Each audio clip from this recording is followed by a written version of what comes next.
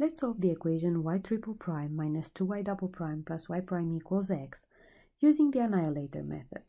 So in the previous um, video, we solved the same equation using the undetermined coefficients. And we found our solution. Um, and in the previous example, um, in the previous video, we solved the homogeneous equation y triple prime minus 2y double prime plus y prime equals 0 and we find the general solution to be um, c1 plus c2 e to the x plus c3 x e to the x.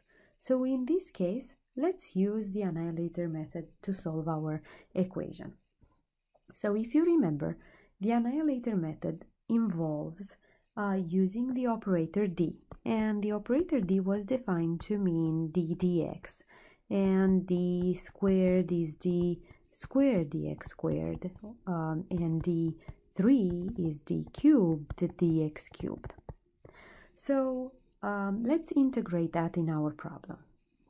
Now, we also want to find out what function annihilates x. So how does x disappear? What should we apply to x to make it 0? So if we have this function f of x equals x, f prime of x is actually 1 and f double prime of x equals 0. So basically what do we notice? We notice that the second derivative of x with respect to x is actually 0 or we can say that d squared applied to x is going to be 0. It annihilates the x. So this is a good result to keep in mind. So now going back to our problem, let's call it problem star or equation star. Let's rewrite our equation or the left hand side using the operators. So this is going to look like this. d cubed minus 2d squared plus d, everything applied to y, equals x. Or we also learned that this can be written d times or composition d minus 1 squared applied to y equals x. Right, because if we factor out d, let's say, we get d squared minus 2d plus 1, which can be combined into d minus 1 squared. Now, we also saw that d squared applied to x equals 0. So what if we apply d squared to this last equation that we wrote? We are going to get d cubed composition d minus 1 squared applied to y equals 0. And we know how to solve this type of equations. We know that this can be written d cubed applied to y equals 0 or d minus 1 squared applied to y equals 0. Now d squared applied to y means the third derivative of y with respect to x equals 0 or in other words r cubed equals 0 or we can say r equals 0 triple solution. Triple solution or multiplicity uh, 3 and the same thing happens here. Y uh, d minus 1 squared it's actually um, y double prime minus 2y prime plus y equals 0 or r squared minus 2r plus 1 equals 0, or r minus 1 squared equals 0, or r equals 1 double solution. So having these two results here, let's translate that into um, solutions. So r equals 0 is a triple solution. That means y of x is going to look like this, c1 plus um, c2 x plus c3 x squared. Why? Because the term e to 0x it's actually 1.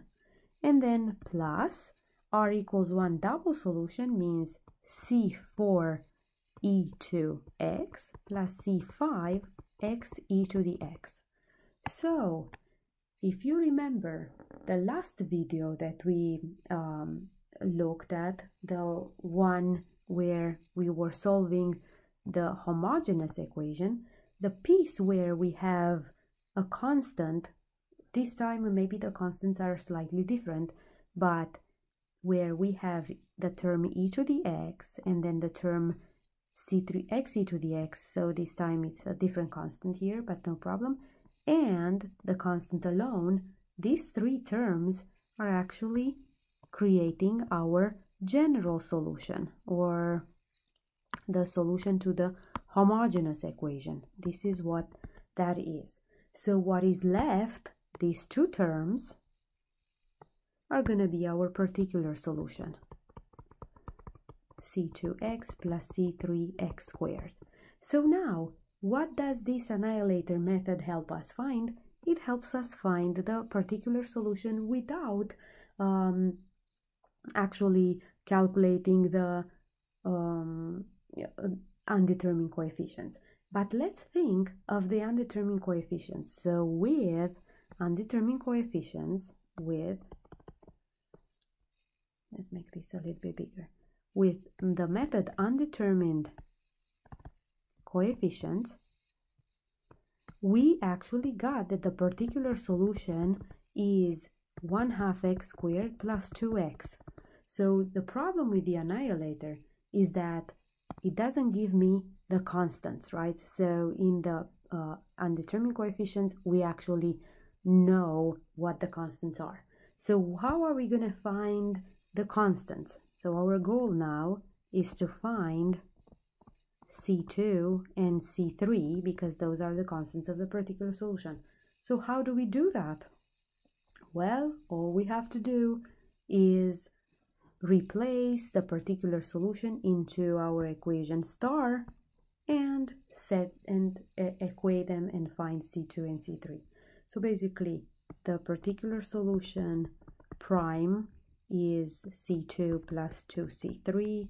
The particular solution double prime is um, 2C3x is 2C3 and the particular solution triple prime is 0. So when we replace these y's into star, we get what? We get y triple prime, that's 0. Then minus 2y double prime, so minus 4c3, plus y prime, so plus c2 plus 2c3x equals x. So then again, the coefficient of x from this side equals the coefficient from this side. So 2c3 equals 1, c3 equals a half, and c2 minus 4c3 equals 0 because on this side we have 0. So c2 equals 4c3, which actually means 2. So the particular solution is c2, which is 2x plus c3, so plus 1 half x squared. So we got exactly the same thing as we did uh, in the previous problem. So the solution to this equation is c1 plus c4 e to the x plus c5 x e to the x plus 1 over 2x squared plus 2x. So the annihilator, we have to do one step further to actually find the constants. Now, how are we going to find C1, C4, and C5? How are we going to find these constants?